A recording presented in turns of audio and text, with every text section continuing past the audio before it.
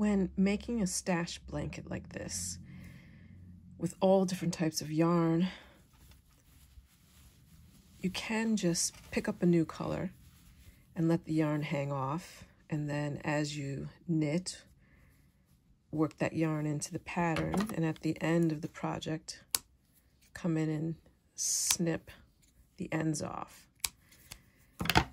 Now with 100% wool, these will have a tendency to cling in and even with the superwash will be less likely to come out and show in the finished product. If, like me, you decided to make a stash blanket where you're mixing uh, all different types of yarn, but they're all machine washable, that's less likely to happen. So a good idea is to put the yarn strand that you're finishing actually connect it in a way to the yarn strand that you're using. And I have, um, I'm going to be using this yarn as my next color. And you'll notice that there's actually sequins in here.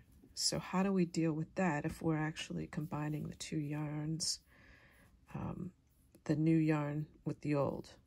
Where the sequin spot is, I need to cut that off and there's enough length before the next sequin, which is down there. So you'll need a sharp pointed needle with an eye that is, this is a, the sharp pointed needle with an eye, this is the needle eye, that is large enough to receive the yarn.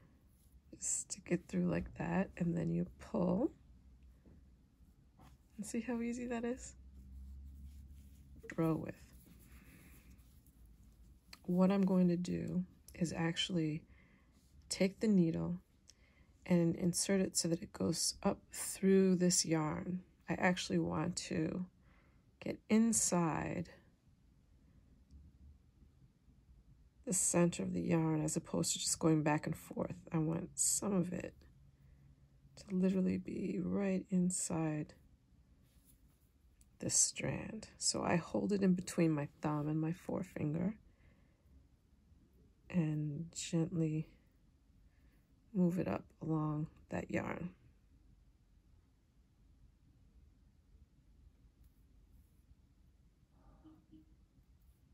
Some spots you'll see it sticks out further than others, but the point is for as long as my needle allows, that's what I'm going to do is try and get the yarn. See that? and then I'll pull the yarn through.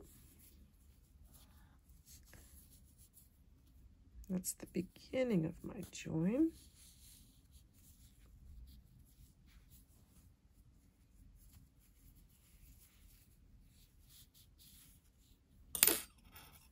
Yes.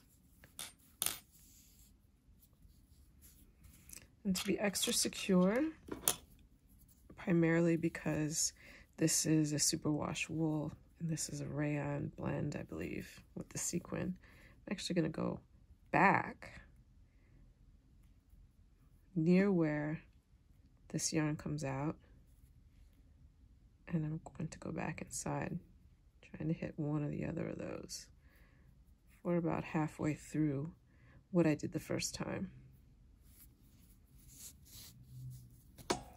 Now, for this is excellent for a project like this. I wouldn't suggest this method if you're doing some fine knitting where any little bump or bulge will show. But I'm making a stash blanket, which uses up odds and ends in my yarn stash, orphan skeins, those leftover bits from a project that you finish and you just have a little bit left that you can't make a new project with on its own, but mixed together with some other yarn, you could do something, which is what this blanket is all about. Let me show you how I'll knit that in and what it looks like. This is a simple garter stitch blanket. Oh, sorry for hitting the camera.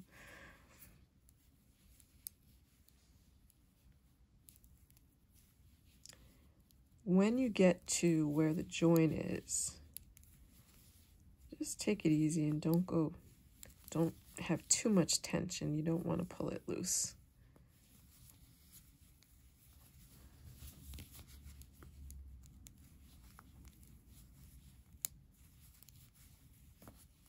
There we go. This was the end of that rayon. I'm going to cut that. And you can cut it close without worrying about it unraveling because of the way the two yarns were joined together.